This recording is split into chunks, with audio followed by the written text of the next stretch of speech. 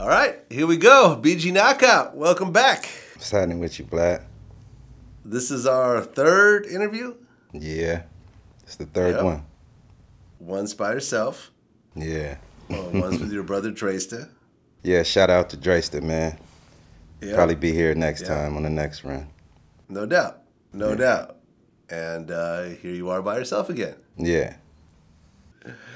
Uh, so let's get into it. Let's get into it. Um, I recently dropped the Mob James interview. Yeah. uh, which I'll be honest, I've had more people tell me that's their favorite all-time Vlad TV interview than, Seriously? than really any other interview I've dropped. Yeah, well, because I think it was so emotional. You know, he was crying in the middle and, and stuff like that. Yeah. I mean, he. You know. I mean, his story is his story, and you know his brother passing. I'm sure you know it was touchy. Yeah. Do you know Mob James at all? I've heard of him. I don't know him personally. No. Okay, but you have heard of him. Yeah. Yeah. Of course. Yeah. Okay, and Mob James is Mob Pyru. hmm I got family from his neighborhood actually. Okay, They younger. They from the younger generation, but yeah. okay, and you're from I'm from Nutty Block, Compton. Yeah. Nutty Block. Okay, which is different than, than Southside Crips. Yeah. Yeah, d- way different. We're on the west side of Compton. They're on the southeast side of Compton. Yeah. Got it. Got it. But Orlando Anderson was Southside. Yeah. Okay. Was Nutty Block and Southside kind of cool? Yeah, we was clicked up at, at one point. We was Nutty South Atlantic. Nutty Block, Southside Atlantic Drive. Yeah. Okay. You know, because Crips don't always get along with Crips. No. I mean, during my life, we probably had more beef with Crips than we did with Pyrus, actually. Okay. Yeah. But in terms of Southside, Nutty Block and Yeah, Southside, Southside, they're closer to the Pyrus on their side of town. So it's like you, you usually conflict with the people you're closest to. Okay. But you have friends in, in Mob Pyru.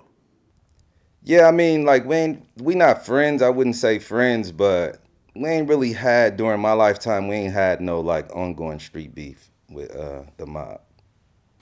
Okay. So, so Nutty Block and, and, and the mob get along more or less. Not get along, but we just we we so far away that it's like we don't we hardly see each other. I put it that way. Okay. So I did the interview with Mob James. Mm-hmm. And, you know, this interview kind of spanned uh, a relatively, you know, a number of years. Right. And Mob James originally started running with Suge uh, in, in the, the very early Death Row days. Yeah, I believe he grew up next door to Suge, um, where Suge moms, you know, yeah. You know, and, and Mob, Mob was there when Suge punked uh, Vanilla Ice. And talked about how they were there when Vanilla Ice signed over, you know, part of his, his publishing or, or whatever else for Ice Ice Baby, which which he said was total bullshit. Like, you know, it was basically just a shakedown. Yeah, yeah. Suge went to him and pretty much punked him out of his shit with chocolate, Yeah. saying that he wrote the shit the whole nine. Ice Ice Baby. Yeah, didn't have nothing to do with it. So chocolate had nothing to do with that song. No. He took the contract to Vanilla Ice, made him sign it, and they gave him a check for it. Were you there when that happened? Yeah, I was with you. Okay. And the story that Vanilla Ice said was that Suge took him to the balcony. Nah, I didn't. I wasn't there on that. Nah, I don't remember that. You don't part. remember that, but he did punk Vanilla Ice. Oh yeah, he punked him and a lot of people.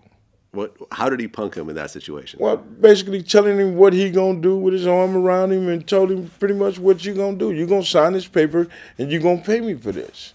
Sure, we was just getting into it. We didn't have, we didn't have no artists, no groups.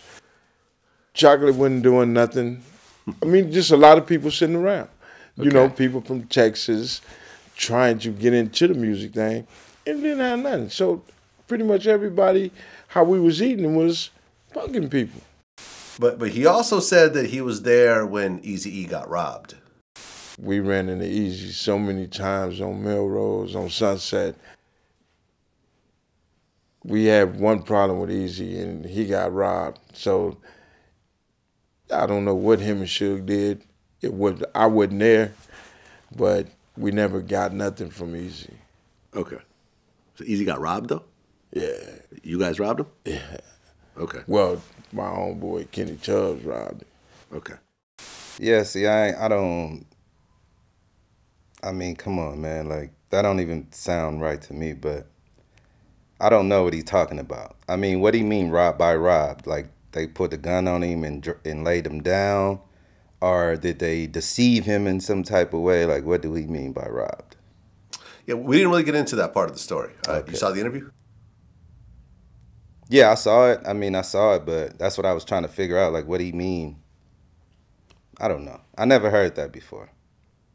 And you know, but he did say that they ran into Eazy on various, you know, various times, and nothing really happened. Exactly. I mean, we seen them guys a lot and nothing really happened. Just like you said. The incident where I was telling you with my conception and we was at the uh, Universal Amphitheater and it was kind of like a big standoff and Suge had kind of pretty much acted like he was going to see us outside about something. So we went and got strapped up and went outside and we was like, "What's up, Suge?" He was like, "Oh man, I ain't tripping on that." Then they skirted out in the limo. I mean, but we ain't really had no conflict with them like that. Well, we get into sort of a, a later part of the story, and you know, then it ties into the whole Orlando Anderson situation. Okay. So originally, we talked about a situation where uh, Suge's Suge's friend gets killed, and the the person that you know, even though he was never convicted, you know, multiple people have said that they they think that Wolf did it, who was uh, one of Puffy's you know main guys. Mm-hmm. You know, who, who's recently uh, you know who's who got killed some years back. Jake gets killed in Atlanta. Right. You know, that uh, that's really the first blood on the ground. Right, and that was Suge's close friend. Correct.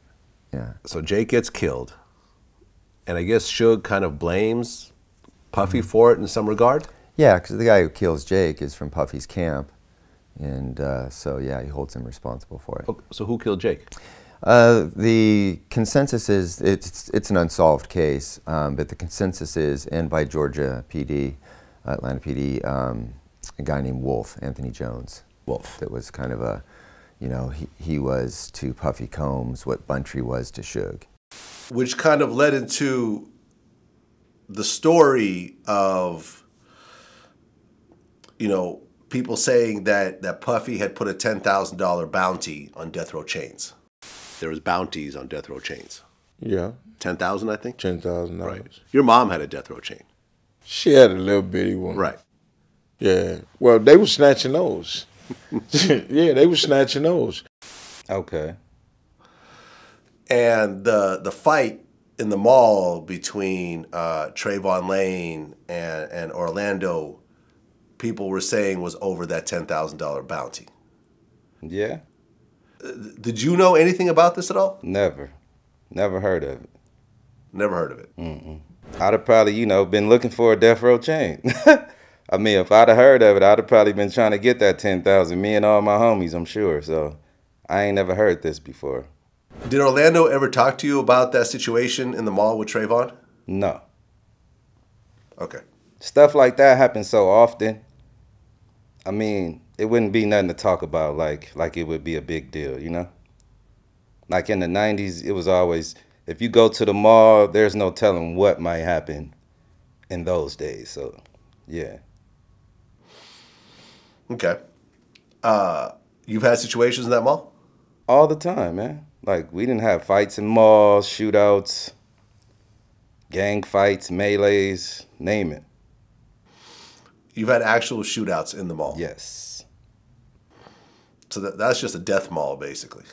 I mean, not that particular mall, but it's just, you know, in the 90s, gangbanging was at a such high, you know, it was like so heightened at that point to where, you know, like people would represent their, their neighborhoods with their sweatshirts and stuff like that. We would have our gangs, you know, going across our shirts and the colors, you know what I mean? So, and we would usually go to the mall in packs, you know what I'm saying? At least in a small group.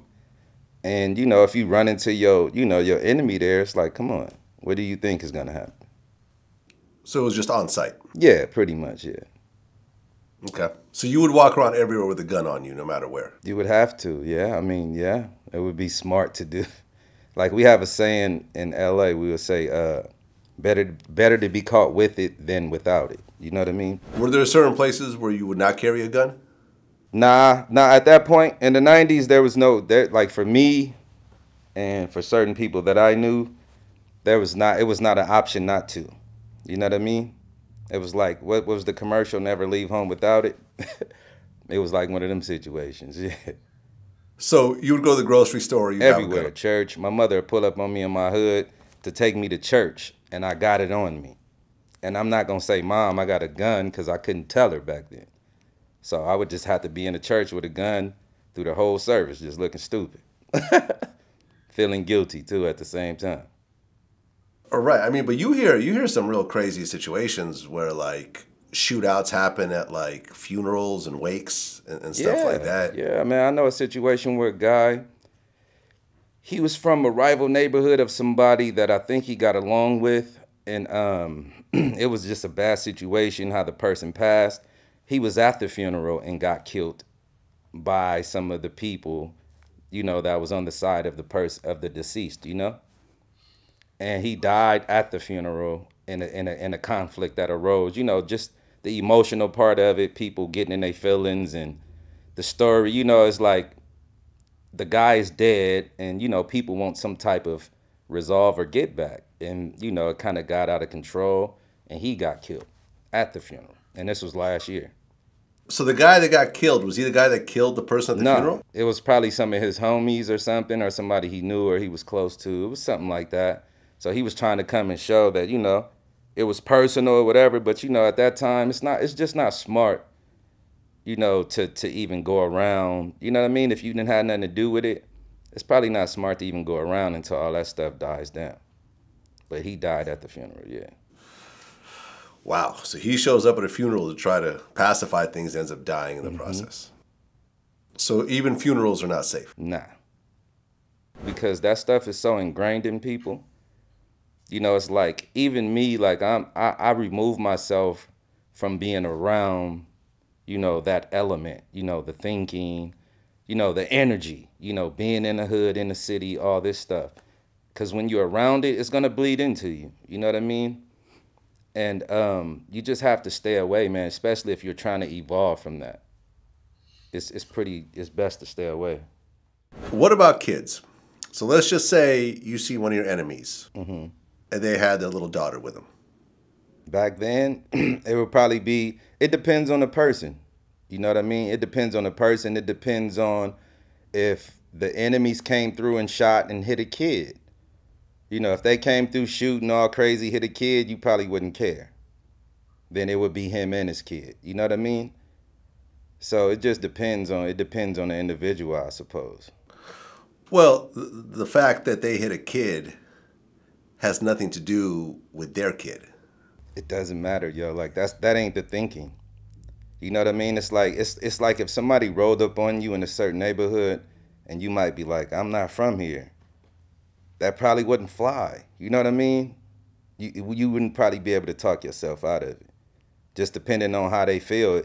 It depends on especially if they just recently lost somebody. They probably wouldn't even ask you anything. You know what I mean? Right. And you hear of kids getting shot in drive-bys, you know, stray stray bullets. Mm-hmm. Usually not intentionally, usually.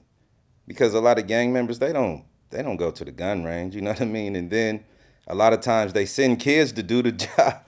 They send kids to shoot, man. I mean, come on. What were the youngest shooters that you've seen? Maybe 13, maybe. Mm. Yeah.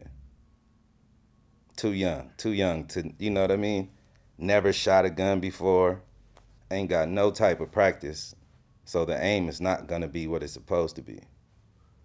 I mean, I'm not going to ask about the specific situation, but can you say how old you were when you first shot at somebody? I really can't say, man. I mean, I was out there young, bro, like 10 years old. You were shooting at people at 10 years old. Probably, yeah. What was going through your mind as a 10 year old with, with this Just gun? trying to please my big homies. Hmm. Just trying to, you know, impress people. impressionable at 10, man, I'm super impressionable, you know? Yeah. I mean, do you feel like the big homies were taking advantage of you in retrospect? Probably. I mean, it depends on their thinking. Like maybe they thought that they were trying to put something in me that I needed, you know what I'm saying, to carry me on into my manhood. Like, because it's like this, like what it came to be, gangbanging, it was not always called that. But it started off as something positive, right? and and then it got derailed into some negative stuff. So by the time I came on the scene, it was all about being tough. And they were trying to teach us to be savage because you got to be a savage to be in the street. You know what I mean? Because people will take advantage of you and they will use you. You know, they'll send you out there to, you know, get hit or get all the time. You know what I mean? Like, use you as a little torpedo, as they say. And I think maybe at that time they were just teaching me what they thought I needed in order to survive and thrive in the hood. You know what I mean? Because I've seen the people that did try to take advantage, and it was usually stuff with like drugs or snatching purses or robbery. You know, it was like the old guys that set a robbery up, send the young guys in, and then take most of the money. You know what I mean? Stuff like that. Yeah, I mean, because my friend, my son, you know, who's who's from New York, mm-hmm. uh, you know, he did seven years in prison. Right. And when I asked him how come he never joined a gang, because he's real close with Bloods and Crips and everything else like that, he just told me straight up. He said the, the problem with these gangs, especially in the prison environment, is that you know you end up joining because let's say you're scared and you know you're getting you know pushed you know pushed up on or whatever else. You join this gang and the first thing they have you do is go on these missions that they don't want to do themselves and next thing in before you know it you've racked up a whole bunch of new charges and you're in there forever i wonder so he, if he was thinking like that back when he was younger though you know what I mean? Because I doubt if he rationalized that far. Well, no, he, he was a little bit older at this point. Yeah, he yeah. Ex- so, exposed. He was, you know, he had a he had a you know. Well, the, he had a song and, and usually you know, he had a deal and gang, so forth. When you join a gang, they make you do stuff just to you know, so to see if you really with it. You know what I mean? Like in our case in Compton, you know what I'm saying? Like in my neighborhood, it's not it's like we got to see if you really with this lifestyle. You can't just be, you know, around here acting like you know, we call it claiming the fame. You know what I mean? When you just running with a pile of dudes and you ain't never proved yourself. You know what I mean? So you have to prove yourself to us. Like usually, it's not like that we wouldn't do it. We'll probably have to take you to show you what to do. You see what I'm saying? I mean, he's talking about an older situation, not you know what I'm saying. Once you're already in prison, yeah, that's different. Twenties or whatever. Yeah, else, that's sad. If you join, if you join after that, that's we won't even respect you, honestly. If you wait that long, like we ain't gonna respect you. What's in your in your point of view? What's the age limit of joining a gang for the first time? Usually it's when you're young, bro. It's like teen. It's a teenage mentality. You know what I'm saying? So if you join the gang after you're a teen, that's kind of it's suspect to us. You know what I mean? So so 20 years old is It's kind of yeah. It's like come on, man. You waited till you was 20 to be from a gang. You know what I mean? That's kind of. I mean, right now I wouldn't advise anyone at no age to get in a gang. In this day and time, never. I would discourage it, you know, to the utmost. But back then, you know, yeah, you would you know, it's something you grow into. As a kid, you got to get into some fights. You got to get into the feeling of what it feels like. You know what I mean? Go to school with the homies and do dumb shit. You know what I mean? So you understand it a little more. And then if you just get into it when it's, I don't know, it's kind of strange to me. So when you look at like a, a Lil Wayne or a Chris Brown, who starts claiming those you know, guys blood, are so crazy to me, man. Like no disrespect to them, because I really admire them kids, man. But uh, I think it's sad that you know God blessed them to get as far as they did, to want to entangle themselves in this type of, you know, environment. Like that's that's backwards, if you ask me. Yeah, I mean, I've always I always thought it was strange. I've Yeah, talked about crazy, it yo, with like- actual OGs like Tray Deee, and and you know, I think Tray Deee when I interviewed him, he said I feel it has to either be a psychological defect to where you don't want to enjoy your life and enjoy your wealth and, you know, uh, ride around on boats and, you know, pop bottles and just, just you know, live a, a, a stress free, you know, life uh, as far as attracting unwanted attention and aggression upon yourself. Why would you want to be rich and start fighting people? I mean, that's it makes no sense to me. So, you know, I, I see it as like the peer pressure aspect is that, you know, is this what you really want for yourself, or do you feel that this is the only way you'll be secure in certain areas? It's just a sense of wanting to belong to something, but in my opinion, I think the older guys, whoever they were, that they ended up, you know, gravitating towards to eat, end up even getting in that crowd, should have kept them dudes. You know what I'm saying? Like, should have told them dudes, look, man, it's cool for y'all to kick it like this and like that, but don't be representing that, man, because y'all got something good going on. And that it only brings a negative vibe, bro. Like, ain't nothing positive can come of that. Nothing. Yeah, I mean, because I, you know, I'm friends with you. I'm friends with Tray Deee. Uh, I have gang homies. Yeah, yeah. And and you could ask any of them. I have never even remotely had any interest in being part of this. Yeah, man. Ever. All, all the conversations we've had on the phone, have I ever asked you to at all entangle myself in this? Yeah, man. It's like, yo, come on, Vlad. You you got more sense than that, man. It's like now that I can see from two different spectrums, you know, there was one point in my life where I only can see from a gang point of view because it's I was so in you know enthralled in it. You know what I'm saying? Like, and now that I can see both sides, I would never advise anybody. You know, it's one thing to be cool with people; it's another thing to get involved with their politics. And usually, gang politics are it's like a trap, man. The entire thing is like a trap. You know what I'm saying? To be honest with you. It's illogical. Yeah. Most of it is illogical, honestly. So let's get back to Orlando for a second. So the one thing that's been consistent, you know, when speaking to Mob James or, or other people, was that everyone pretty much agrees that that uh, Orlando was a hitter, that this guy was, you know, was thorough. Yeah, was a was a real was a real. You gangster. come from like when you see we we we come our generation is called the baby gangster generation in Compton. That's why my name is BG Knocc Out, right? So you had to be thorough to be from our generation, bro. You couldn't. Anybody that wasn't pretty much got, you know, got squeezed out the way. You know what I mean? So you had to be, yeah. And you've said Orlando was your best friend. Yeah, he was definitely one of them. Yeah. Okay. Uh, Mob James said something very interesting. Mm-hmm. He said that Tupac should have been escorted out the door into the car and driving away when they was whooping his ass. Now, Orlando probably could have understood, would have accepted that ass whooping because he know I got some bona fide ass niggas whooping on my ass here. Right. I can catch him in Compton.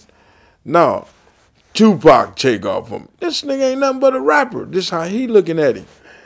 He ain't looking at him like no no gangbanger. So I gotta get this fool. I go back home and they say Tupac beat me up. I can't show my face in the hood no more. That's him romanticizing. Because to me, what's worse is the dudes who kicked him with this with the long, you know, the long front toe shoes on, trying to kick him in the ribs and in the face. Now, uh, I'm sure his punch wasn't, you know, as hard as those shoes were. You feel what I'm saying? About them big old 300 pound guys. You feel me? So I think that would be, I think he romanticized it saying it like that, honestly. Well, yeah. I mean, he also said that, that Suge should have seen this whole situation coming. Suge knew it was consequences from the beginning. Yeah. Suge knew it was consequences when they put the $10,000 on the chain you know, a lot of people sitting here and, and if it wouldn't if it wouldn't for Suge, none of this would ever ever happen. He should have Suge should have listened. As rich as Suge was in the position he had, he should have did everything he could to diffuse that situation, bro. You know what I mean? Because that was a silly thing to do. Because even still, if you can remove yourself and, and if you can remove Pac from the situation, all the people you say you care about is still gonna be involved. Cause they can't run to the hills with you, bro. You know what I'm saying? They can't go to Encino and all these places. You feel me? So come on. And why do you want that type of energy around when you got that type of money and power, man? It's kind of, it was backwards, yo, in my opinion. Well, I interviewed Greg Kading, who was one of the lead investigators. You know, they came on afterwards to investigate that whole shooting situation. And, and he said flat out, It had Suge and other members of um, his entourage. You know, if they'd all been forthright and uh, not wanted to take the matter into their own hands and handle it on the streets, uh, yeah, absolutely. Tupac's case should have and could have been resolved really quick. Everybody knew it was Orlando. It was just getting the evidence to support that knowledge. and, and Keefe D, in, in you know in his uh, his statements uh, to Greg, said that him and Suge made eye contact, and they they grew up together. They knew exactly who the other person was. So, you know, Keefe said Suge Suge could have identified him, but Suge said absolutely nothing. Yeah. And you know, in 2019, this case is still unsolved. Do you understand that mentality? You can't say nothing, bro. You just can't. Not if you're from a gang, as bad as you may want, you can't. If you're a part of the mob, you can't talk. You know what I'm saying? If you're a part of a gang, you can't talk. That's the you know, it's a code of silence. You can't say you can't say nothing. So, if your brother, Dresta, mm-hmm. was sitting in the car with you, and some guys that you knew mm-hmm. rolled up, opened fire, and killed your brother right there in front of you, mm-hmm. and the police said, Who did it? You would say, I have no idea. I have no idea. If your mother was sitting in the car seat next to you, I have no And they- idea, Vlad. Can't say nothing. your own mother, Can't. you have kids? Yep. If your kids Can't say were nothing. sitting, doesn't matter who it is. What do you want me to say? I mean, I guess that's is what it is at this point. I mean, I mean, it is what it is. Like, if if I signed up to something, bro, like, it, it's that. You understand what I'm saying? Okay, what if a, a random rapper rolled up mm-hmm. and, and ended up, you know, not nothing gang related, you know, someone you're you're beefing with on the internet over over some bullshit, mm-hmm. just some dumb shit, which you know all of us have done at some point. Mm-hmm. And this dude rolled up on you and opened fire, and your mother and kids all got killed. Can't say nothing. Can't say nothing. So you would not snitch on your worst enemy. No, I can't. No, I wouldn't. See, there's a thing. Let me just tell you this. Now, this is something I tried to talk to my homies about, if they remember, right? But like certain gangs or certain races and groups have certain policies. You ever heard the book called The Art of War? Yeah, Sun Tzu. Okay, so this is one of the books that, you know, prison gangs and groups read in jail. They study this book and they they they live by it. Now, the whites in prison and the Mexicans for the most part have a policy that they can tell on anybody that's not a part of their group. It comes from the art of war. It's pretty much, you know, getting rid of your enemy by any means. And the, the greatest war fought is one that, I mean, the greatest war won is one that you don't have to fight necessarily, right? So, um, they have this thing, yo, and and one thing that I do know is that if you at war at odds with somebody or with an enemy and you don't fight the war the same way, you're probably you're probably not gonna win. If you're not willing to go to the same extreme, you're probably not gonna win. You know, so I presented this idea to my homeboys. You know what I mean, and they just so they so stuck on the old days, like you know what I mean, like the old ways that hasn't gotten us anywhere. To be honest. And you know, I was in the county jail. We was in the gang module in '98, and some of my homeboys, you know, in Compton, they was beefing with the Mexican gangs in the city, and some of them was actually coming to court, bro. Like, gang tired up, telling from, you know what I mean? Like seriously, man. Like, no disrespect to the essays, man, to the Southsiders or nothing, but they were, bro. And it was, you know, I had to see it in court. I was in court chain. They take everybody chained up together. You know what I'm saying? Into the if y'all got the same courtroom, it don't matter. It's the same judge. It, y'all don't gotta have the same uh, lawyers or anything. Your case is going. Everybody case gonna get you know tried back to back to back to back. And I saw that, and I was I just was like, yo, that's wild. So what you're saying is that the, the Mexican mafia or the Aryan Nation, they will. I mean, they whoever will- they are, I just know that they do that. I know that they do that. Wherever the orders come from, maybe, maybe it come from higher up, but I know they they they can do that, and I know the blacks ain't willing to do the same thing. So you guys are basically at a disadvantage when it comes to this gang shit. super disadvantage, yeah, in more ways than one, and that's just one. That's just one instant, but definitely, yeah. Well, what are some of the other ways? In prison, the blacks are still sectioned off by city instead of being all together. And the Mexicans are not, the whites are not, the Asians are not. But the blacks are. The Bloods, the Crips, the Compton, the Watts, the South Central, the this, the that, the Bay Area, different parts of the Bay Area. You know what I mean? Like, it's crazy instead of being all just one thing. So that's another Right. disadvantage. But they'll come together in the instance of a riot, but that's it. You know what I mean? Like, which is it's just sad. Right, because Freeway Ricky, you know, in our last interview, told me something interesting. He said that You can't sleep in a cell with a black guy. really No, it's against the law. a Mexican gang member cannot have a black cellie, No. He has to go to the hole. so he has to basically fight that guy, If or or, or something of if that. if if the numbers are, are level or it's going to be a war, then he has to go to the hole until a, a, a Hispanic cell open up. Unless he's a, unless he's a South Sider, yeah, because they have black South Siders. Hmm. Okay, but outside of those very few people, Outside of those, it's not happening. The north, the Norteños, the Northern Mexicans, they have black Norteños too, so they can sell with their own also.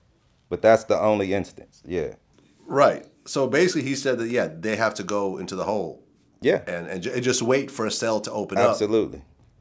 Same You've with us. We would have to do the same thing. A black would have to do the same thing. Yeah, I mean, uh, China Mac was here recently. He spent a lot of time in prison, and Mm-hmm. he said that uh, There's majority Puerto Ricans and Dominicans. uh, so Latin kings and so forth. Yeah, um, Latin Kings, uh, Patrias, and things like that. But um, it's different. The culture is different. East Coast, West Coast. You know, West Coast. I've been to. I mean, you're out there, so you know it's more segregated, right? Everybody, you know, black people here, even in the in the street, like in you know, even black people here, Spanish people, like Mexicans here, Asians here, and there's not really a lot of mingling going on. And when you come to New York, it's different. You know what I'm saying? It's like everybody's like this. So it's um it's a different culture over here. Um in, in the prisons in New York, you know, you have your your your your Spanish gangs, you have your black gangs, but it's not like, you know, it's not like like that. Like they can't mingle with each other. Like you can't bunk with a Spanish person. It's not like that. If you're not linked with nobody, then yeah, you're just gonna be looking stupid. Right. Once again, another disadvantage. Yeah. That's what I mean. See, it was it was different before because the BGF, the Black Guerrilla Family, you know, they had a they had a stronghold on prison at, you know, probably in the you know the 60s, the 70s, and stuff like that, and probably before that. So it was different at that time. You know what I mean? They probably you probably didn't have a choice. You know what I mean? Because from what I heard, they was, you know, if you didn't fall in line, they they'll do something to you. You know. But that all broke up over time, you know, with infiltration and people debriefing and stuff like that. So Yeah, I mean, you don't hear very much about BGF these days. Period. they still they still act like they in prison, like on the main line, and you can't be in prison on the main line from a prison gang, yo, unless you debriefed. So like the mm-hmm. people that be acting like they're a part of that stuff in jail, they just they laughable, because I know you're not just walking around like that. Well, well, let's get back to the Orlando story for a second. So the shooting happened mm-hmm. in, in Las Vegas. Uh, Tupac dies, and you know that was your friend, and I understand that you're not going to comment about his his involvement in it, you know, firsthand. But I interviewed Greg Kading, and he told me some interesting things that I, I didn't know before. Any of the Southside Crips that were actually working as informants, were any of them wearing wires or anything of that sort? No. No. They were coming after the fact, saying, "Hey, I was here. I was listening to the conversation that was going on. This is what was said." And did they have cases themselves that they were trying to lessen by giving this information up? Not at that time, no. So why were they cooperating with the police? Uh, different. Sometimes they would have a relationship based on some prior incident with the police. Um, you know, everybody has their own motive. It's not always because you're trying to get yourself out of trouble. Sometimes it's because you're getting paid.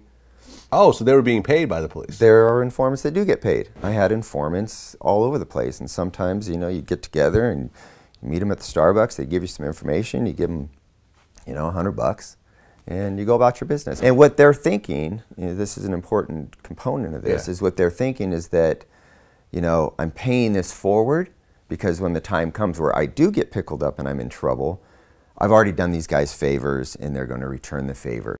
Wow. Uh, What's your take on that? I don't. I ain't never heard of it, but you know, I know when I went to prison in '98, right? When I was fighting my case, actually, I didn't even go to prison yet, and I wasn't even convicted yet. Um, one of the houses that we had in my neighborhood, you know, I had a private investigator on my case too, so he was getting stuff, and um, one of the houses in my neighborhood, it was informant calls coming out of, yo. Like from from from one of the, you know headquarter houses in the neighborhood but you know I couldn't see the name, and I did warn my homies about it, like to try to weed that out. You know what I'm saying? So it's definitely possible. Have you ever seen, uh, you know, snitches in the neighborhood get killed? Not personally, but just heard stories of that. I mean, I've I've heard stories, yeah, yeah. you know, I've heard stories with people that they just said it, you know what I'm saying, and got killed. You know what I mean? Like without even any proof. It's just the the type of person that told them. You know, the, the statue, you know what I'm saying? Like the, the weight that he holds in the hood was enough. You know what I mean? So yeah, I've seen I've seen several different things like that. Yeah. You know, I I forgot who told me, but you know, I heard stories of people getting killed on their way to court. Mm-hmm. In court? yeah. All type of things. In court, you've heard of people getting killed in court. Yeah, stabbed or you know, almost you know, people try to kill them in court. Yeah, yeah. Well, here's another interesting part about the Orlando story. Uh, according to Greg Kading, they they started getting what initially was anonymous calls. in addition to a family member of Orlando Anderson's own family who early on was contacting detectives and saying my nephew was likely involved in this. My nephew, Yeah. but you're not talking about Keefe D. No, is a is a female. So Orlando Anderson's aunt was reporting to the police that her nephew killed Tupac. There was definitely somebody in that immediate family environment that was I don't want to create continued issues for you know what uh, what takes place um, in these everyone's going to go and try to figure out who this is and Right. then of course you know there's a responsibility on my part not to create harm for people and but yeah this is this is the way it played out there was a Okay. family member a female who was calling the police ratting out Orlando Anderson Was was that female under investigation for other stuff? absolutely not no She was just volunteering this information because Initially, she she was at, at, at No, Orlando? initially she was volunteering the uh, information completely anonymously under an alias Candy. See, that's dangerous, bro. Because look, this is how you can view that too in another way. Just say, just say Suge paid a bunch of people to just call anonymously, right? And then just say whoever didn't like him, you feel me, saw the opportunity to finally shit on him. You know what I'm saying? So it's just an ugly situation, man. Because if you if you if you if the police is in one instance and say he was thorough, he was in the street moving like this, there's naturally gonna be some people who don't like him. You understand what I'm saying? So it could be an instant like that. And then his aunt, I mean, maybe, maybe did she smoke crack? Was she one of the, the people on crack or was she a drug addict? I asked him whether she was a criminal herself or you know fighting a case or whatever else, and he said mm-hmm. no. He said that she just got tired of it. you know, she just got tired of all the murders and, and everything else like that, and just wanted, you know, See, I'm not really Wow. close to Orlando's family, yo. I just knew a couple, like I knew him and the two of his uncles. You know what I'm saying? I didn't really. I seen his grandma, his mom. They've seen me on occasion throughout the year, but not in a, in a way that they'll know who I am if they see me like that. Cause me and Orlando, we was in the street, bro. Like we wasn't usually at my house or his house. We was out in the world doing what we did. You know what I mean? So uh, I don't know who this aunt could be, but that's interesting. Keefe D does his confession. And uh, what I found interesting also in this Greg Kading interview that I recently did was that did he assume that this would be like sealed up and never see the light of day? Absolutely. I believe that was his mindset, is that uh, it would never come out. Okay. Yeah. But it comes out. And I doubt that he even knew that it was recorded. You know, he probably was unaware of the fact that it was being recorded. Oh, so there wasn't a tape recorder right there when. Oh, it was like a hidden recorder? Yeah. Oh, really? Mm-hmm. So he was being secretly recorded by, by the police while, while giving his confession. Yeah. Okay, and that's legal? Oh, absolutely. All day long. All day long. yeah, when you go into a police interview room, you better expect that there's a recording going on. And you're not going to see the recorder, but it's. Oh, you know, wow. Oh, that's yeah. how it's done these days. Watch uh, any crime documentary, and you're sitting there watching videotape of a guy being interviewed, and a, that guy doesn't necessarily know that there's a videotape on. Okay. Was he videotaped or just audio recorded? Uh, just audio recorded. Yeah, because we did the. It wasn't at the police station. We actually did the interviews at his lawyer's office. And you guys just had tape recorders on you? I mean, recording Yeah, on you? little. Yeah, small little concealable recorders. So that whole confession was, I guess, secretly recorded, but this is completely legal in the police world. Whoa. Whoa. Yeah. See, that's why it's better to remain silent, right? Right, because anything you say can and will. Exactly. Will Be used against you. That's the key word. Right.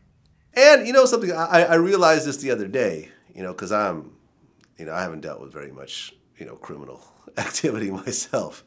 But I, I was looking at a, uh, you know, at a court document the other day, and it said the United States of America versus that person's name. Right. and, and and it just kind of just hit me for the first time and like you're fighting against the whole country Exactly. essentially and and with an unlimited amount of resources Do you know why that is? why is that Because usually when you break the law, um, you're considered like an enemy of the state. That's kind of, you know, like that's what I realized when they used to make us pledge allegiance when we were little. We didn't even know what allegiance meant. We didn't even know what pledging meant. You understand what I'm saying? And so they pretty much pretty much made us pledge with our right hands to say that we would not go against anything, you know, American pretty much, you know, the laws included, right? So I think that's the reason without them telling you that. Cuz how can you go against the whole United States corporation? How? oh yeah because I, remember there's a there's a case now of a woman who left america to join isis Whoa. you know and things didn't work out and now she wants to come back to america and america's like nah Of course. Nah, you, you can't. You She can't blew come back. You're She you're, you're no longer a citizen. Like you know, you know, we may not be trying to get you and you know whatever, you know, prosecute you or kill you, but you cannot come back here. Go ahead and Yeah, stay in Syria. You it. are not part of America anymore. Hope it was worth it. She crazy for that. She crazy. Yeah, she blew that. Well, good luck to her. Yeah. Yep. Um, what was interesting also was, uh, you know, after the Keefe, you know, well, from the Keefe confession, uh, at, at the time that he did his confession, everybody in the car was dead except for the driver, who was uh, Terrence Brown. And in 2015, uh, Terrence Brown was killed inside of a weed dispensary called Chief Keef's Glow Shop. 2000 what? 15. Mm. I think I heard of that. It was in Compton? Uh, where the hell was this thing? Yep, it was in Compton. Yep, Compton. Yeah, it was in Compton. Yep. Hmm. Yeah, not to say it was related Okay. at all to that, but yeah, the no, it wasn't. It wasn't. It was some robbery stuff, but yeah, that's crazy. so you- heard about that situation. Yeah, Yeah. Well, you know, 2019, it's still unsolved. Um, you know, and we'll see if it ever gets solved. Uh, you know, Keefe D said what he said. that should be enough. I mean, that should have been enough. If, I mean, if they, I don't know, man. That's weird. I mean, sheesh. What more do they want? What more do they want if this dude then said all this stuff? He was in the car. Like, come on, bro. Like, what more are y'all asking for? I don't understand. Yep. Well, I mean, uh, Greg Kading thinks that because I don't have any real confidence in the fact that anything will be done, you know, I always try to leave it with the fact that uh, you don't have to always rely on the court systems to give you closure. Or, Yeah. you know, you can look at the information available, draw conclusions, and then realize that, you know, you can be very confident as to what happened. yeah, Yeah, I mean, you might as well. I mean, come on, man. That's too long, bro. And Yeah. you know, it's still it's it's still a sad situation. It's still touching. Um, you know, people are very much close to both sides. They should, man. Why not? Well, you know, at at the end of the Mob James interview, uh, he said that he has a daughter that actually bangs uh, Southside Crip. Whoa. My daughter is is me and her mother. Yeah. My daughter is a little rougher than my sons, and is I, I'm trying my best with her, and I have her son right now, um, my grandson, and I'm helping her with my grandson, but uh, she coming along, but she's she's my payback. Oh, so That's my- she's actually somewhat involved in. She's a South Side. She from South Side. Oh, she's from Yeah. your your enemy's Yeah. side, Yeah, essentially. exactly. Hell, man. I mean, it depends. I mean, if he taking it that much to heart, maybe, yeah. But he should be over that, man. He he not over that yet. He still he Well- he loved the mob that much. Well, well, he said he's no longer part of Mob Piru. He talked a lot, so I'm sure he probably ain't. Yeah. I, I don't know about that. I mean, he said it on tape, bro. I mean, What do you mean? I seen him saying a whole lot. I mean, he talking about he talking about his homie robbed Eazy. That's telling. Um, he said his name, so I mean, he probably told a whole lot of stuff. So yeah, Well, he he named the guy that killed his brother. This guy okay, George. that's telling. uh, though. That's still AKA, telling. Mo- AKA Mo- Monkey. According Man. to gang code, that's snitching. well, he he said he's no longer part of it. for this to be my life. And then at the end of the day, my friends killed my brother. Man, that killed me. So there's no way in the world I can I can be a part of this and and, and still feel good about it. Yeah. And that's why I don't understand why my nephews and my other brother still want to be a part of this. Yeah. Ain't ain't that much street out here. Right. And this is why in the beginning of the interview, when I said you're a Mob Piru, you said used to be. Yeah. So you, you don't claim it anymore. No, I don't. Man, you better sock me upside my head if I ever say that again in my life. He didn't leave willingly. He left according to the pressure. I'm not sure. You'll have to Yeah, ask him. that's what it sounds like. I mean, it's, you got to figure that out. It's not hard to figure out, but it's cool. More power to him, man. I hope he get it together and live his life. You know. Yeah. Well, you know, he lost his brother, and uh, I think that was pretty much it for him after after Buntry got killed. And he kind of described the environment. He said that like 11 of the Bloods at death row ended up killing each other. Alton wasn't the first that was killed under Suge Knight Watch. And this is where everybody is, oh, Buntry, it's just Buntry dead. You got Vincent, you got Heron, you got um, Hen Dog, you got Chin. You, I mean, I can just name I guess it was 10 or 11 people. Yeah, you got all of these guys up under 10 or 11 Pirus Pirus were killed under associ- Death Watch. associating with death row. Yeah. Yep. I've I've heard a lot about it. Mm-hmm. Yeah. Was was Suge sentenced? You know, did Suge take the 28 year plea deal last time we talked or no? I thought he did. I mean, that was the word, but I'm not sure. Ho- ho- Hold on. Let me look this up. How many years he got in now? I think he's got a couple years in, you know, time served. And then he got 28 total. And uh, being that it's state time, he might get half of that. Mm-hmm. So he might be out maybe 12 years or so. Dang, he keep getting lucky, boy. He should move out the country. If I, if I was Suge, I'd go straight. I go to Ghana somewhere. Right. Yeah, yeah. We, we actually, yeah. This was back in November. We actually talked about it. Okay. So, so yeah, you you were here when, uh, when you know you and Dresta were here when we talked about Suge's deal. Um, yeah, man, quite a quite an ending to the death row story. So sad, bro. I heard they supposed to do that story, huh? Are they supposed to do Suge's life or what? I don't think Something anyone really. I don't think anyone really wants to work with Suge. Is the problem? Yeah, I mean they probably will do You it what without him. saying? You know what I'm saying? They'll, you know how they'll do it. They'll, they'll make it up if they have to. They got enough to work with to make a good story. you know what I mean? They do. Yeah, I mean, there's so many angles to the whole death row story that it's just like.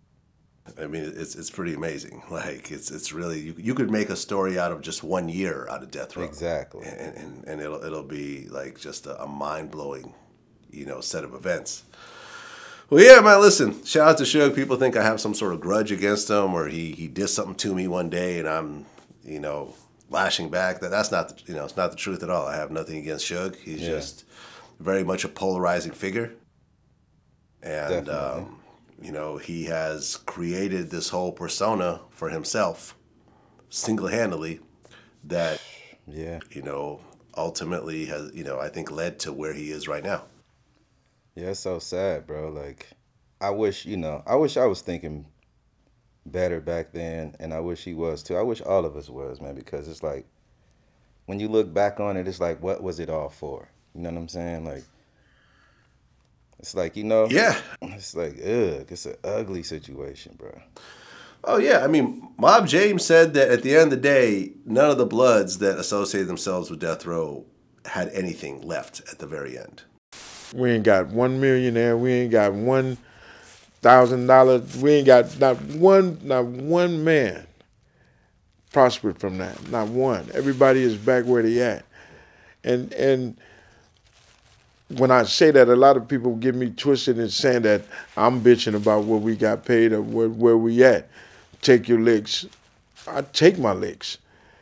I'm the first one to admit that if if if I can do this again, I I would I'd get paid, and everybody else would be getting paid. But everybody knew what the outcome of this was going to be pretty much because when Suge went to jail, Suge took back everything. I heard everything was leased under death row, from what I heard. The Mm-hmm. houses and the cars. All the vehicles, all the homes were all somehow attached to their corporation and leased to the artist, yeah. And the bodyguards or whoever. But yeah.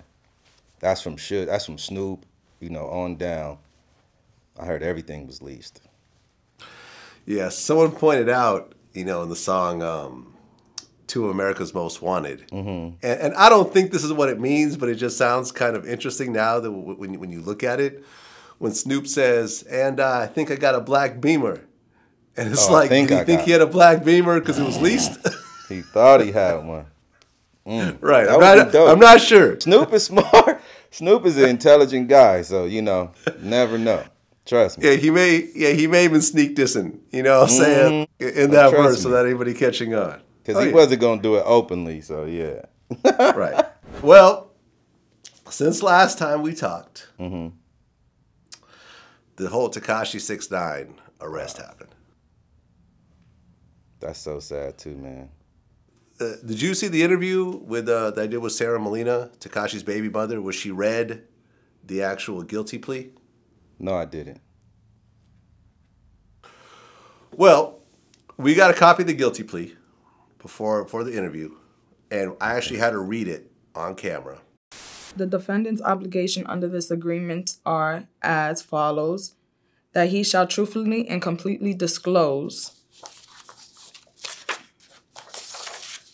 all information of the activities of himself and others to the U.S. Attorney's Office, that he will that he will cooperate fully with the New York City Police Department, the Bureau of Alcohol, Tobacco, and Firearms, Homeland Security Investigations, and other law enforcement agencies. You want me to keep going? Yeah, keep going. That he shall attend all meetings of the office, that he shall provide to the office upon request any document that shall truthfully testify before the grand jury or at any trial, that he shall bring the office's attention all crimes which he has committed, and that he shall commit no further crimes. Okay, and just and read the next uh, paragraph, and that'll be it. If the defendant does this, the office, and this is detailed on page four on pages four and five of the agreement, agrees not to prosecute the defendant for the crimes set forth in courts in counts one through nine of superseding information as well as additional crimes that the defendant has told the government about. Mm, mm, mm. The little rainbow hair kid, huh? Little rainbow hair kid. Mm, mm, mm. So sad. Have you seen this type of thing happen before? Mm, not not in this instant. No, I can't say. I mean, I've seen it in the gang. You know, in the instant of gang. You know, the gang environment, kind of. Yeah. I've seen stuff like this. Yeah. An old guy from a gang in L.A. Like a he would be considered an OG. You know what I mean? He have to be at least fifty, almost sixty years old. That kind of pretty much was in this situation, like in recent years too. yeah. Like he seriously. told on everybody. Oh my God. Yeah. Okay. Mm-hmm.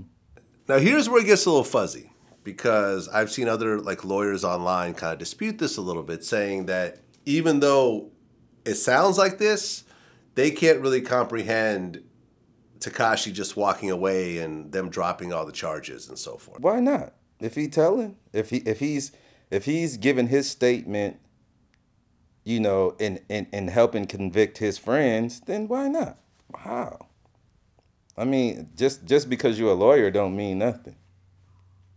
Okay. Every situation, they're not all the same situations. You know what I mean? It's pretty much what the DA and the lawyers agree to. If his lawyer agreed to it, the DA agreed to it. There's none, no, no, nobody else can say.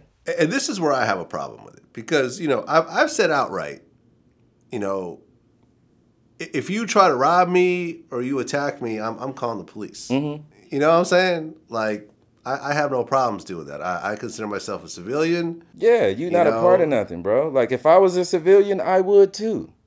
Right. Any any civilian could do whatever they choose, yo. Like, right. come on. Yeah. Right. I've, I've, I've put that out there and, and I stand behind it to this day. Mm-hmm.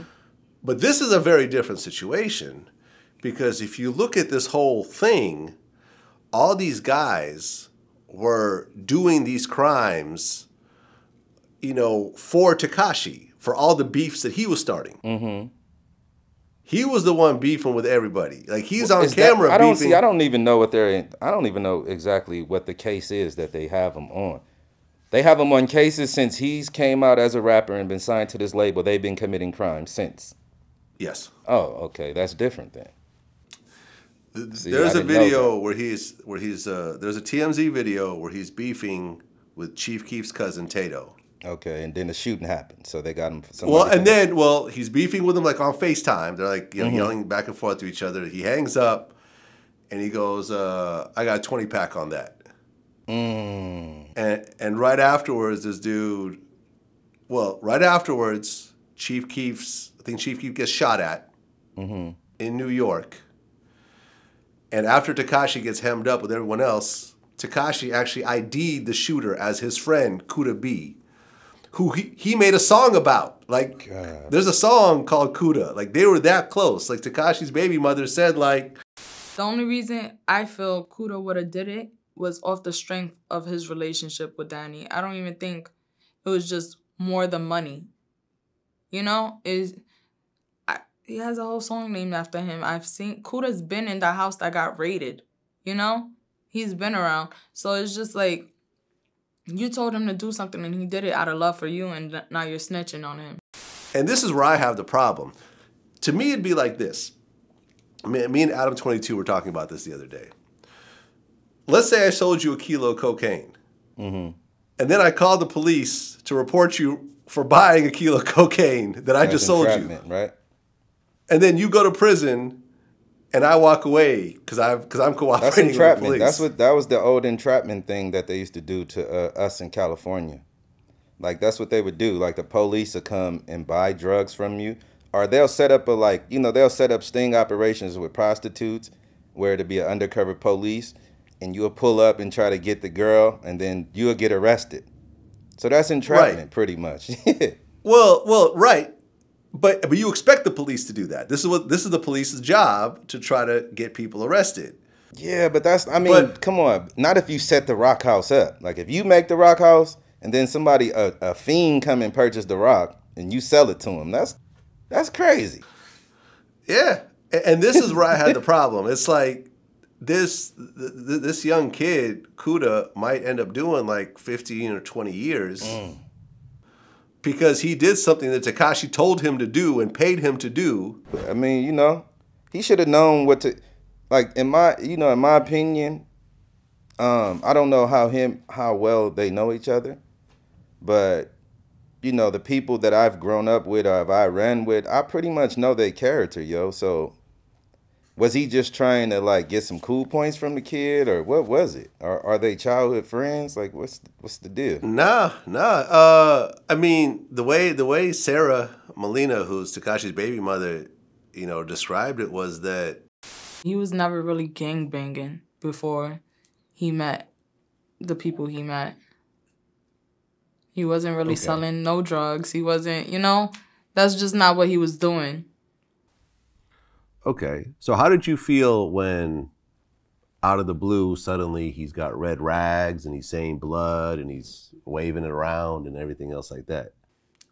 Um, it made me question. I had to ask him, I'm like, yo, you blood? Like, is this what you're doing now? Like, I just want to know out of curiosity because he was going so hard with it.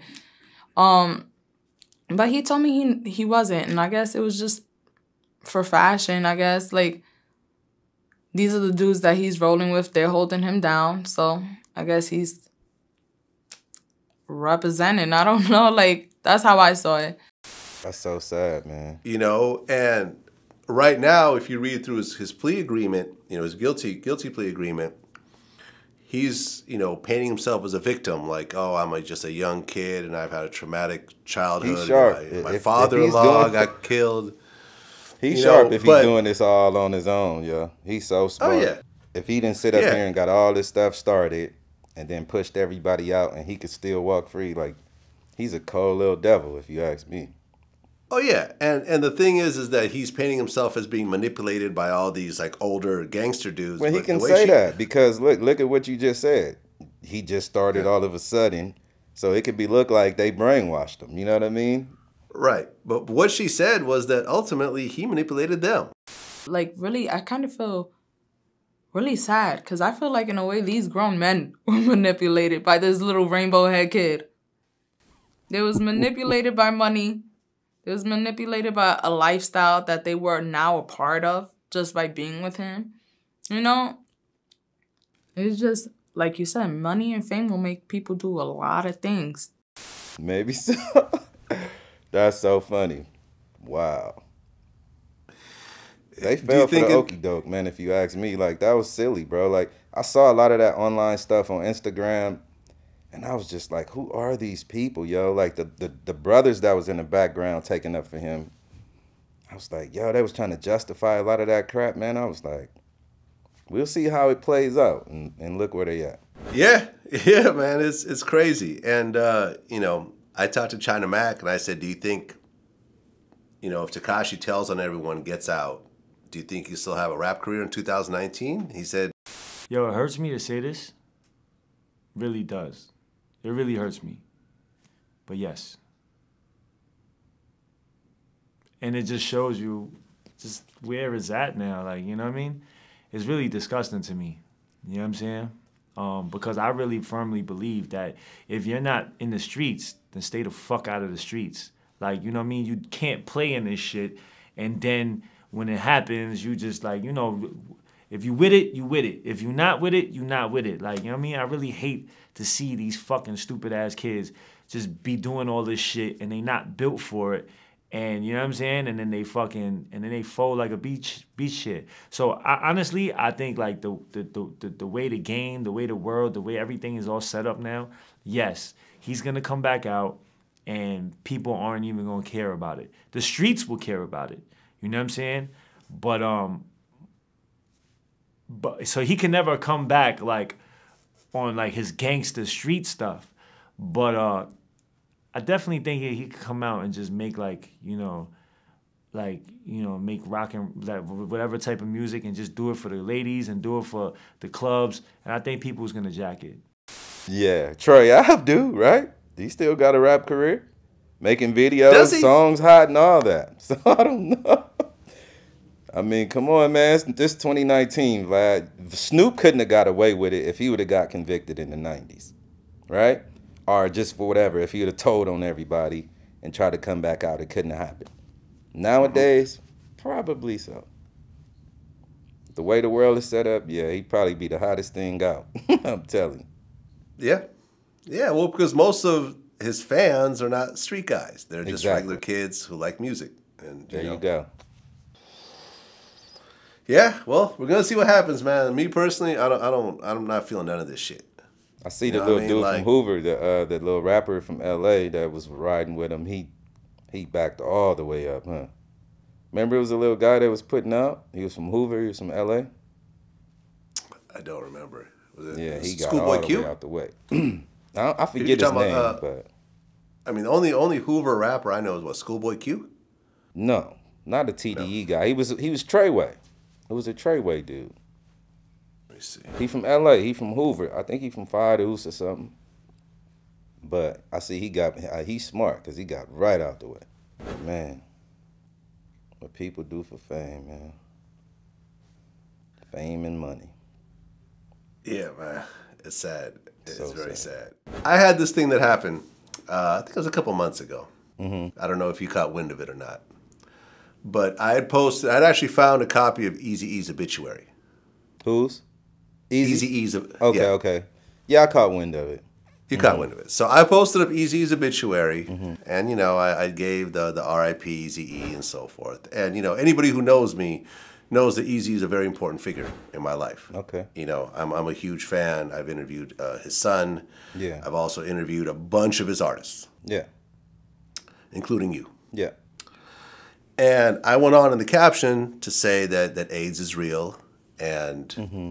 uh, you know there's you know you should get tested if you're not using condoms. There's also home tests called OraQuick. Mm-hmm. There is uh, pills called Truvada, which potentially you know could stop you know uh, the spread of AIDS if you come in contact with it, and so forth. And uh, you know I used I used the caption to you know to spread AIDS awareness. And Eazy-E's youngest daughter did a video. Uh, you know, she was upset with me saying that I know for a fact that Eazy didn't die of AIDS, and I shouldn't be using her father as as the face of AIDS awareness and so forth. Yeah. Yeah, we. Do, I mean, we don't like that, bro. Like, I don't like it. Honestly, I don't like people to say that because nobody know for sure.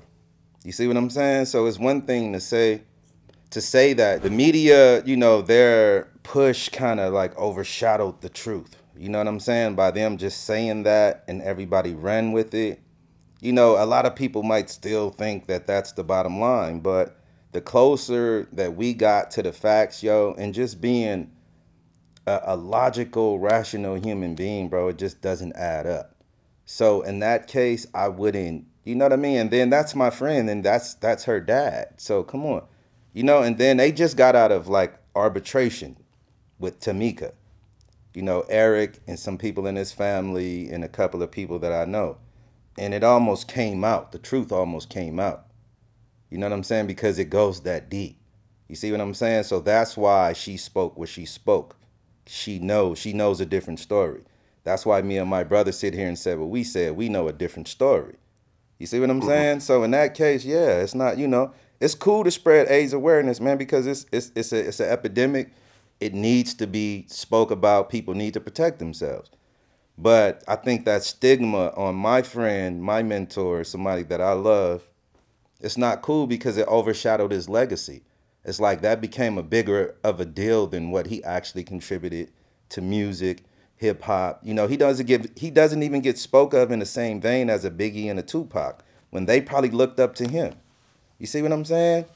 And I think that's what it all stemmed from, yo. It's like he got this negative stigma attached to his name that probably never go away, and then people won't let it go away because they keep attaching it and attaching it, and it's just not true, man. We just don't have the facts.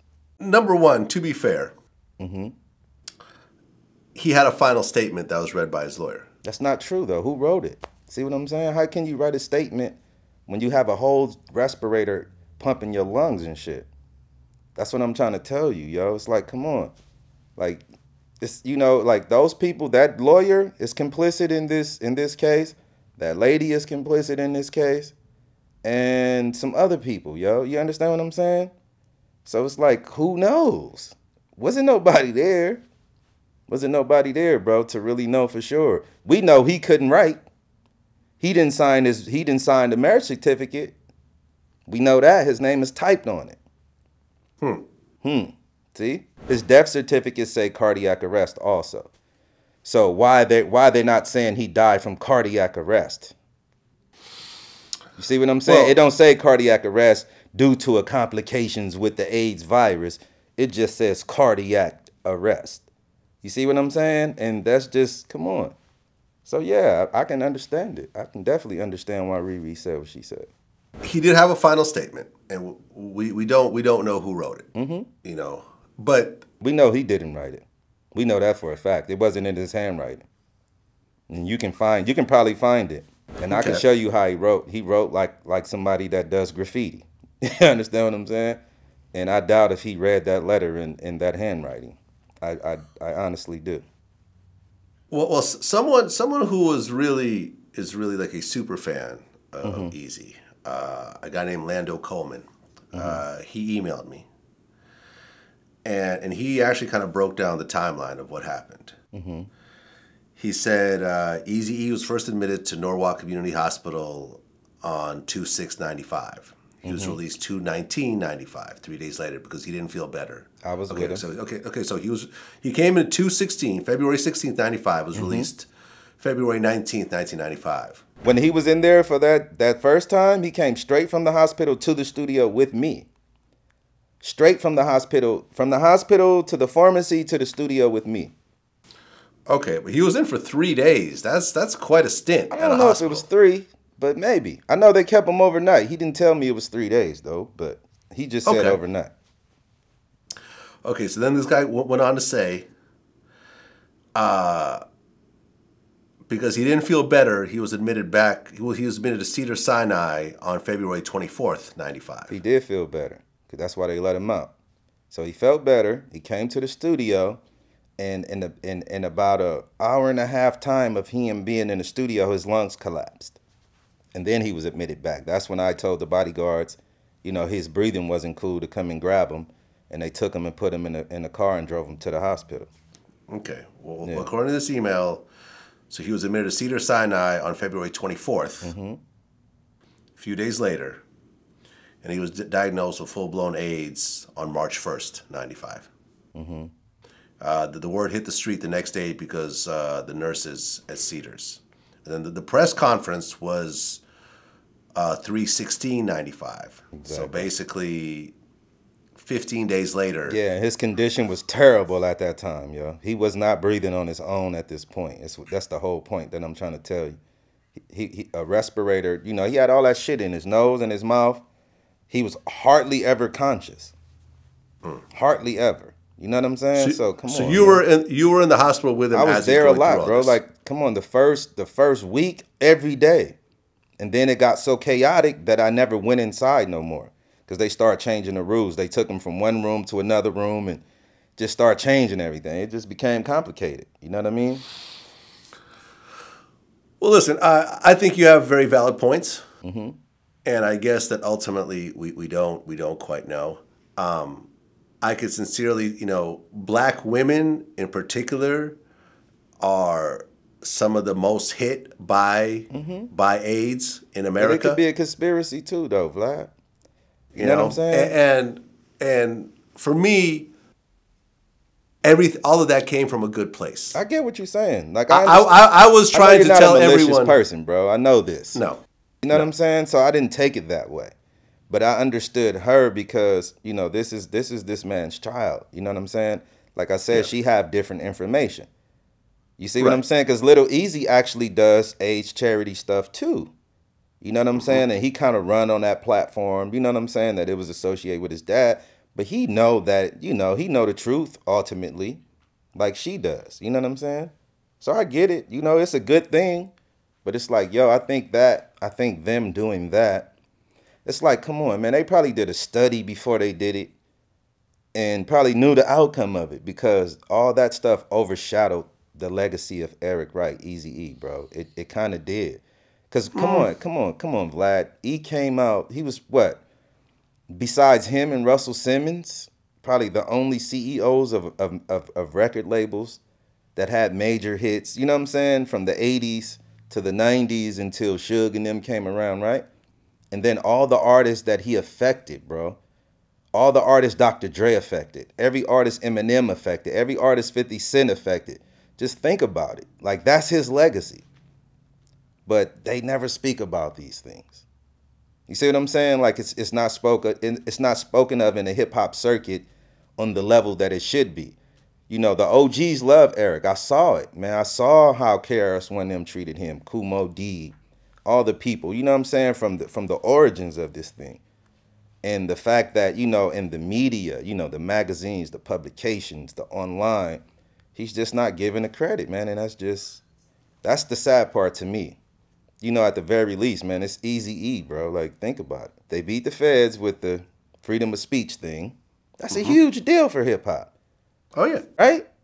Just like Run DMC and LL Cool J paved a lot of, you know, they opened a lot of doors for artists, right? That's huge. Easy E pretty much made it possible for us to keep speaking what we feel on music because it got to the federal government and they tried to stop it. And nobody gives them the credit. Well, yeah. I, think what ultimately happened, and the, people my age, we all understand the easy. Yeah, E was the the root of really the entire West Coast family tree. Pretty But I think that ultimately, with him dying, Dr. Dre kind of got the credit. I mean, they speak of Dre more in the terms of producing, but Dre is he's more than that too. Dre is an artist. You know what I'm saying? Dre is on the very first music that came out from NWA, bro. Like, and you know he's more than just that. Also, I mean he's he don't get spoken of in the same you know in the proper uh fashion either. You know what I'm saying? When it comes to hip hop, bro, he doesn't. You know, like you said to the OGs, yeah. I mean we talk about it, but it's not you know the publications man. It's like come on man these are the these are the pioneers of this genre that we call hip hop yo. And they just get overshadowed. Even the even Kool Herc and all those people man like they just don't get the credit you know? It's just sad. Well, listen, man, I, I think you make some good points, and um, you know, I, I'm not one to to hold my tongue or, or take back what I say, but I think based on what you're telling me, you know, I'm going to apologize to Eazy's family, appreciate it bro you know, for for uh, you know saying some things that may not be as black and white as I thought they were. yeah appreciate it we appreciate it i'll i'll, I'll accept it on their behalf because i'm sure they would too Th- th- there you go. There you go.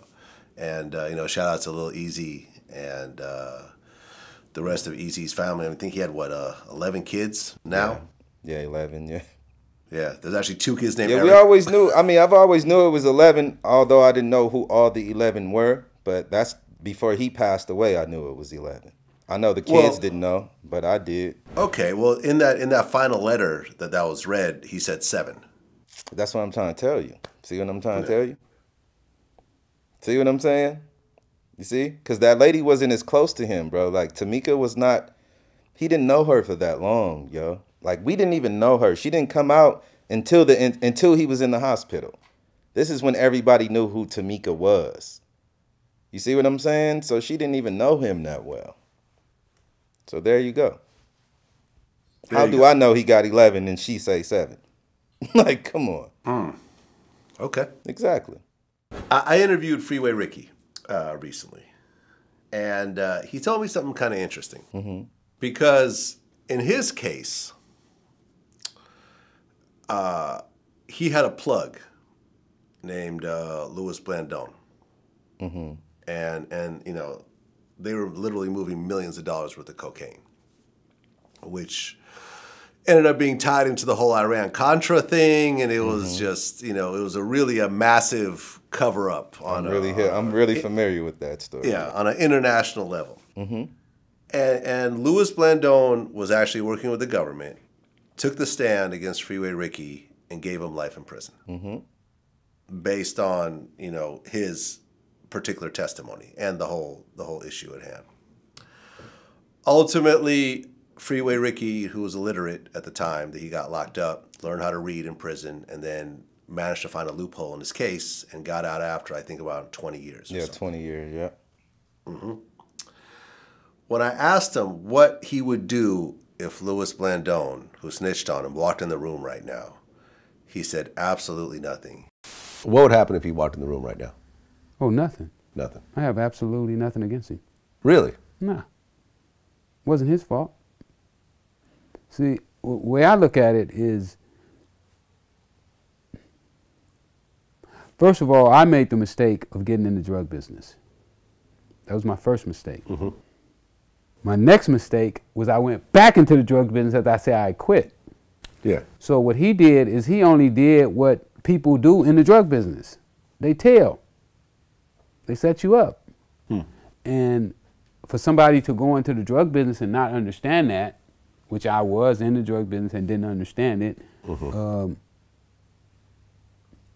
but I came to grips with it.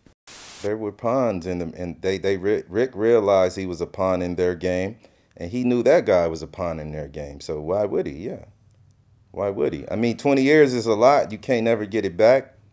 But the fact that he's been blessed to come home and his life is headed in another direction, and mentally he's not in that space. So why would he do something? Well, what he said was interesting. He said that once he was in prison, he fully accepted His the fact that he was in prison because of cocaine. Mm-hmm. You know that that was his mistake that he chose to deal with cocaine, and he also realized that snitching is a part of the drug trade. Absolutely. It became that way. It wasn't supposed to be because how can you have a drug trade if you got snitches? You can't be successful with snitches, you know what I'm saying? So, but it became that way. I get it. Well, the drug trade is not designed for you to be successful. It is. It's supposed to be. Supposed to be, Yeah, but I mean, really, I mean, come on, man. It's it's no different than what the government did when they came and took the country. You see what I'm saying? They came and did it illegally. They used a bunch of different things in their disposal to to gain control of this landmass. The mob pretty much did the same thing in the in cities that they were in, and now they're all corporate. I live in Vegas. They corporate now, so they don't have to continue, you know, living by the same way that they did when they first came. And so, you know, it's the same situation if you think about it. I mean, drugs was supposed to bring money. Like the people that was in the drug trade was supposed to go go clean after a certain point. You know, that's the way that we were taught. But I think sometimes people get, you know, the money goes to people's head. You know, the money, the power, and all the other bull crap that comes along with it. And people kind of lose sight of it, I guess. Because who, I mean, many- who's going to be a drug dealer forever? Like, who says that? well, how many drug dealers do you know that never got snitched on? I know a few. I mean, I know quite a few. It's just that they were smart. You know what I'm saying? Because this is what I know. So, and Rick probably can tell you. so, back when cocaine hit, you know, naturally, if it started, just say California with Rick, it has to move now because, you know, they're only making so much money here. They have to expand. It's like big business, right? So what they did back in those days is that when they expanded to other states, they would party with each other. Now people know, you know, such and such from Chicago, such and such from St. Louis, such and such from New York. So now everybody is pretty much tapped in. And then now that they're partying together, now just say the guy in New York get snatched. He don't want to go and do 120 years for all these, you know what I mean? So he tell. So what he gonna do? He gonna tell on the dude from somewhere else. You see what I'm saying? Now they go watch him. Boom, he get hit. Then everybody just started pointing fingers. You know what I'm saying? And it eventually, you know, it's going the ball gonna roll down to you if you ain't got told on yet. Well, you used to sell drugs. Yeah. When you were younger. Mm-hmm. Hey, did you get snitched on? A lot of times, yeah. A lot. But I never times. had a lot of cocaine like these guys. I didn't. I wasn't. Listen, I'm scared of cocaine. Like a lot of cocaine. Like I, I used to only have like nine ounces. That's as far as I would go. Because it would make me so nervous just to look at it or have it in my person.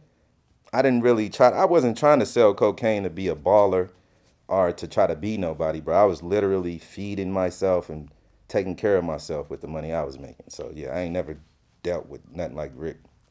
Okay, but even with that, you got snitched on. Absolutely. How many times? Hmm. Probably about three or four times in my lifetime, yeah. People you knew? No, it wasn't nobody I knew. Well, people I knew, but it wasn't like it wasn't no people that was in like in my lifestyle. It was like either smokers or neighbors. You know, people just tired of the traffic. It was stuff like that.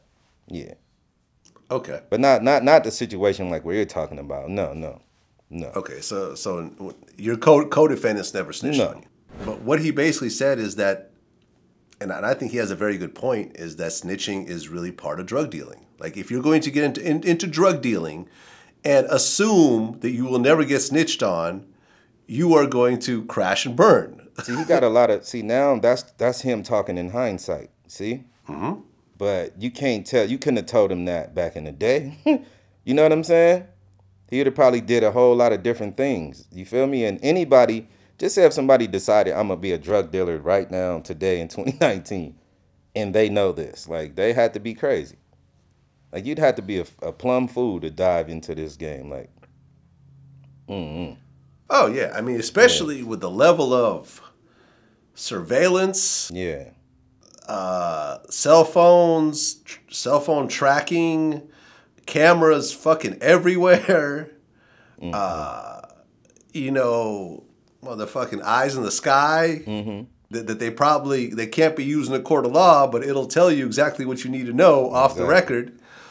Yeah, it's not, Yeah, it's man. not wise, bro. Like, I don't know. I mean, I understand that at one point, you know, in the ghetto, it it was what it was, but it's like I think like in 2019, and it's just me. It might be like a selfish way to look at it, but I think, man, you don't have to do nothing illegal in order to make it no more, bro. Like, I just don't think you have to. Now, I understand like some people are, you know, their situations are different. People are in different situations and their circumstances might have them trapped. Some people are trapped by circumstance. And then I know a lot of people in the ghetto, they just don't know the options that they have because they haven't presented many. You see what I'm saying? They haven't been presented with many different options and different things to do. So people are trapped by circumstance and mentality more so than anything. But it's too easy nowadays to do something legitimate to make money, bro. You know what I'm saying? Like, so I don't know. Yeah, man, just don't do it.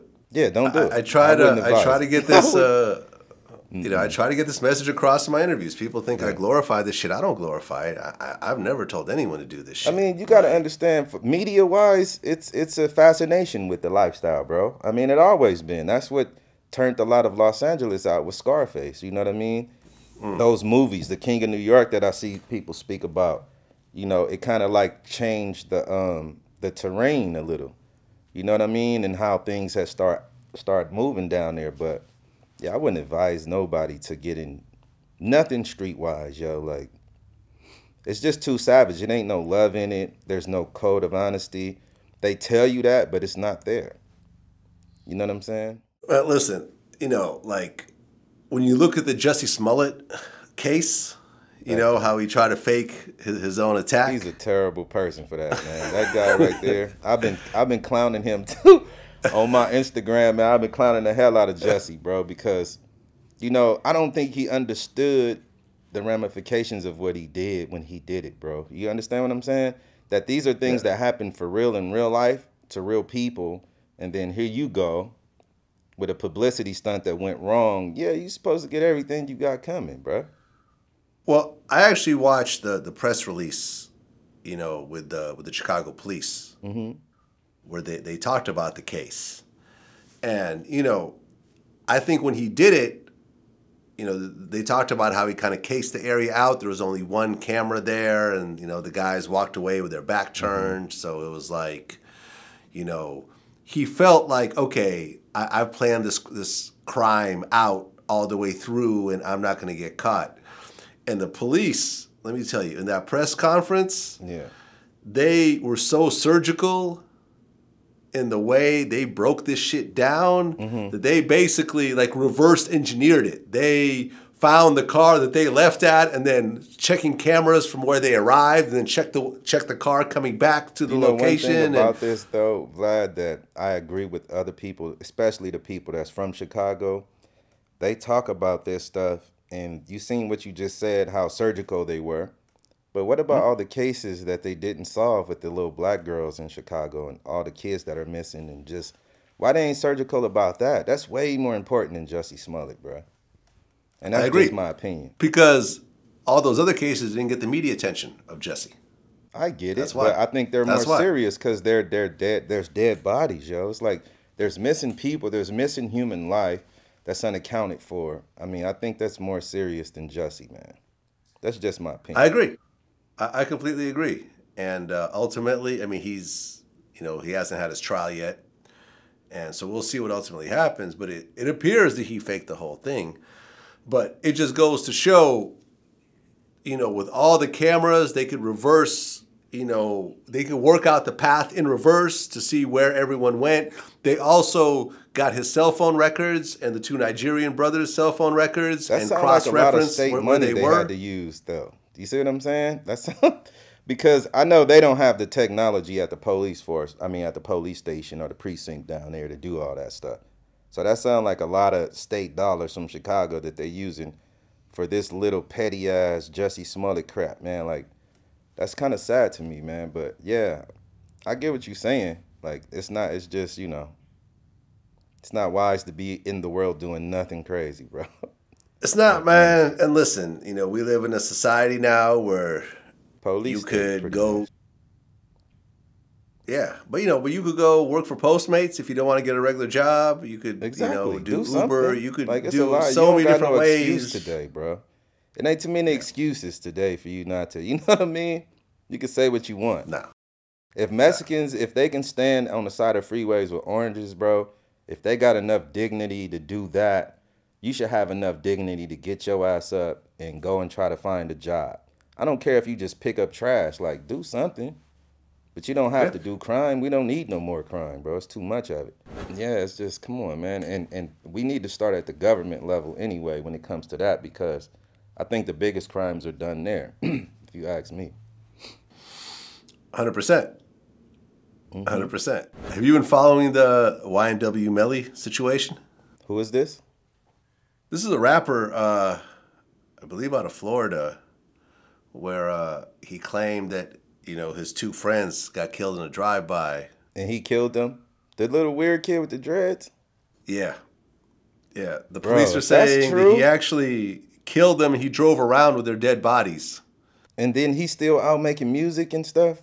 Or No, he's he already no, no, he's he's locked up right now with no bail. Mm. That's insane, man. Yeah. Um the police are saying that he shot them while they were all in the car together Whoa. and he drove around with their dead bodies and then I guess made it look like a drive-by. And it, it didn't quite work out. Whoa. Mm-mm-mm. Cold piece of work.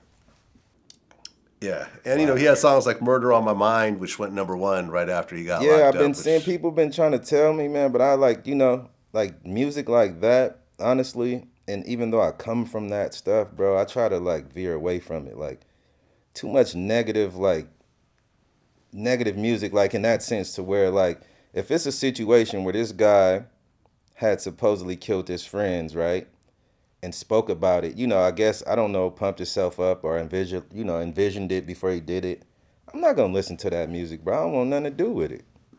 You know what I'm saying? And so people have been trying to make me listen to. it. I'm like, why would you want me to listen to that after you didn't just gave me the story? I don't want to hear it. That's not cool. You know that don't sit well with me. You know. So that's Well, crazy. I mean, I mean, we talked about this just now, but in the world of forensics, forensic Yeah. technology and so forth, you're gonna you're gonna be very hard pressed to try to fake a murder and try Yeah. to somehow stage a fake murder scene with blood splatters and DNA evidence Right. and hair samples and everything else like that. Like, the, the, the fuck are you even doing right now? Right. Yeah, he tripping. That guy is crazy. Whoever he is, man, like, I don't want nothing to do with it, honestly. I mean, he looks crazy. He looks Yeah, he at his do. mugshot. He's, Like I he's seen him smiling in in the the dress. mugshot. He be wearing dresses and all type of weird stuff. Like that shit is weird, man. Like he probably unstable mentally or something. Did you know people growing up who just, you know, were like serial killers who ended Yep. up uh, ultimately getting caught because they really liked killing people? Yep. I know quite a few. Yeah? Honestly, yeah. And I and you know, it's funny how when you grow up with people and you know when you're a child, man, everything seems innocent. You know what I'm saying? Like you and your friends. And then when you guys get older, yo, it's like, yo, and you have real conversations, you be like, what happened to you? You know what I mean? Like, what happened to you that you that made you go out go so left? You know what I mean? So yeah, I do, man. I do know people like that, bro. Honestly, I do. They like it, and they're probably, you know, yeah. It's crazy. Yeah, I do. But you knew them as kids before they started doing yeah, yeah. Like these are some people that I grew up with, man. Like they just went left at some point, like mentally. How many people, you know, like if you look at the one, like the most extreme case, how many people did that person get convicted for killing ultimately? Um, just a couple. Just a couple on on the what he got convicted for, but yeah. But he was probably, you're saying that he was allegedly connected to a whole bunch of other ones. Man, come on, man. Bro. Okay. Just you know, just if you just have to know the individual, man, like to know. You know, because I mean, you would have to know. Like everybody, don't, everybody that know these people don't know them in this way. You know what I mean? Because usually, serial killer uh, type people, you know, they they act really good. You know what I'm saying? Around other people, even in their own family, people don't know. You know, they play a role real well. You know what I mean? So yeah. Well, you know, I mean, you look at today's society, and uh, you know, murder is considered this horrible thing, and you know, people, you know, It is a horrible thing, Vlad. It, it, it, well, well, It's l- very l- well, let, me let me Murder just, is nothing, just nothing nice about that, bro. It's well, but then again, you look at someone who's a quote unquote war hero who's killed fifty or sixty Mm-hmm. yeah, people. but see, that's why you shouldn't. It's not supposed to be that, man. I think you know. I think that's uh that's a wrong thing. Like that's that's something. A war hero, war and hero shouldn't even go together. Like, like it'd be one thing, like if somebody came to invade, and then you know caught us off guard or preempted, you know, preempted us or something like that, and then we overcame them. Then yeah, they would can be considered heroes. But if you meet somebody on the battlefield and one win, come on, that's not necessarily a hero. It was, you know what I'm saying? And and then war is not pretty, bro. No matter how you look Right. at it, death is not Right. pretty. Even when you have to kill somebody that's negative, like a serial killer, it's still not a pretty thing because that still was somebody's child, yo. You still what I'm saying? He might have still had children that might have loved him. You see? So it's just not a pretty. I wouldn't. I wouldn't like. Yeah, war hero. That don't even sound good. right, but I'm saying, but th- it's all perspective, right? I mean, think about how many people Obama yeah, yeah, killed. of course. That's just You know, during the eight during the eight years he was in office, how Mm-hmm. how many drone strikes was Obama responsible for? I don't follow them, Vlad. Like I, I'm not a um, I'm not big on politics, bro, because I, I know it's all evil, man. Like I don't think Obama was righteous, bro. I, I look at him like George Bush. He ain't no different to me. You know what I'm saying? Like just because he black, like he he's a devil too, if you ask me. That's just my opinion, and and I know that I know most of uh, so-called black people. I don't even like to say this word no more because black is not a nationality it's a it's a status you know it's like it's like a citizenship or a classification um obama was the president of Har- of the harvard law school or something like that right so he knows the law and Uh, he Harvard Harvard law Harvard law, Law review, Review or something a, like a that, group, right? Yeah. so he knows law and he knows that the entrapments that have come with, you know, that have that have surrounded black people in the inner cities of the United States of America, bruh, is all twisted in the law. He know what all the traps are. And he never spoke not once about it. And then he'll speak about something like Morocco is the first country that recognized America as an independent nation, right? But he won't give you the background information of why. You see what I'm saying? He won't talk about the uh, the, the peace treaty of of the peace treaty of what is it? Of some peace and friendship with us in Morocco, the longest treaty that ever you know on the planet. Um, he won't say these things, and he won't tell he won't tell the people that we shouldn't call ourselves African American or black because these are statuses, yo. And then if you read what they mean in the law, they have very negative connotations to them. You see what I'm saying? And that's what most of our troubles in this country come from. That's why Mike Brown was killed without no, you know, recourse to justice. You understand? And you know, that's you know, but that's one of the reasons why I don't like this cat. I don't I don't like Obama. Michelle either. None of. Yeah, I mean, every president is almost definitely a murderer in one mm-hmm. way or another. Absolutely. Every president has to take on the role of, you know, as commander in chief, they have bodies on them by the time they leave office. Unless it's an, a time of total peace, which I have not known in my lifetime a, a time I doubt it. Any, America. I, I doubt any time that America been standing that we had any period of peace like this. yeah. Honestly. Yeah, real talk. That's how we're gonna end it. BG Knocc Out. You know, appreciate you coming through, Appreciate you having me. and uh, you know we'll start having you on a more regular basis now. I appreciate it, man. Thank you so much. bro. Absolutely. I mean, it's well earned. You know, always does huge numbers. People fuck with you. For sure. You know, it. you still still look like you're 18. I appreciate it, man. I'm trying to stay You know, trying to stay young and no handsome. doubt. You know what I'm talking Oh yeah. You know, tell your brother so what's up for me. Yeah, for And sure I uh, will. you know, keep doing your thing, man. For sure. Salute to you, Vlad. Appreciate you. Peace.